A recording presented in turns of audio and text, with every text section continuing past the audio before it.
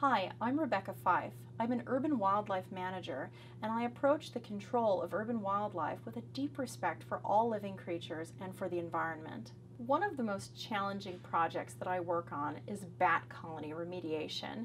Bats are essential to the health of our natural world. They're important pollinators and they help control insect pests. Join me in the field today and see what my team is up to.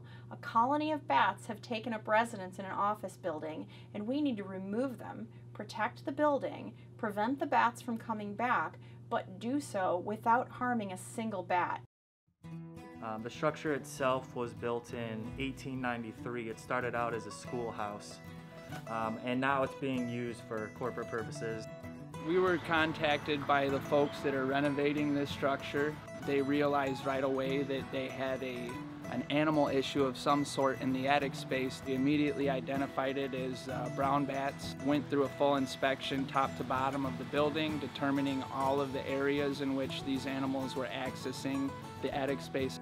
Inside this structure, we're dealing with a day roost. There is an accumulation uh, of guano within the attic space and a large uh, colony size. One of our best indicators is spider webs because as you can see that glob up there, the spider webs actually caught all the guano in a big pile because where they're actually exiting from is right up behind this uh, tin gusset here.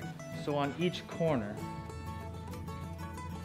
there's a gap and the gap allows the bats to get from the exterior into this interior attic space and this is pretty much their roosting space so this is where they're living currently. One of the first things we're looking for is a buildup of guano.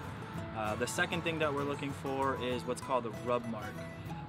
The way that a rub mark occurs is the oils and dirts that are built up on the backside of the bats as they're entering and exiting the structure.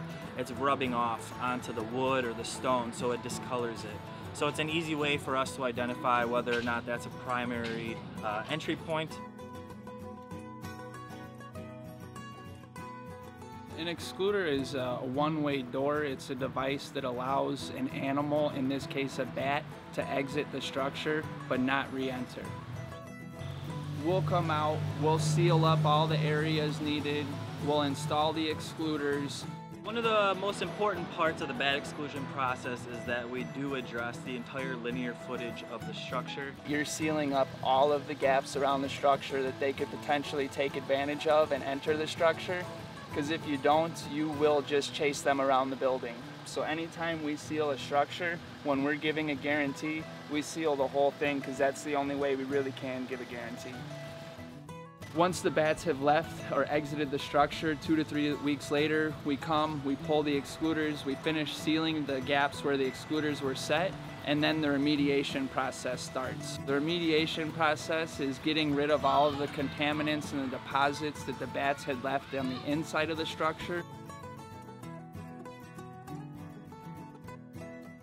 So we go through all of the NACOA bat standards and practices with properly excluding these guys uh, to make sure that we're not causing any harm to them, but able to remove them from the structures where we're removing the concern for human health and safety out of the picture. We realize the importance of the bats in our um, ecological system uh, and how everything goes around full cycle. There's just a lot of aspects about the bats that are very beneficial to the environment um, and that's why we prefer you know excluding them and doing it in the proper manner.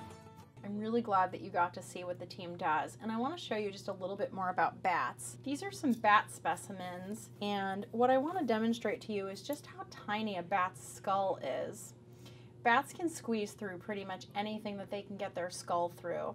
So when we bat-proof a structure, we have to seal up any crack that's this size. So inspecting a gigantic building to find any crevice that would let something this tiny through is really a challenge. I hope you enjoyed seeing how we remove a bat colony without harming any bats. I hope you'll join us again for another nuisance wildlife control adventure.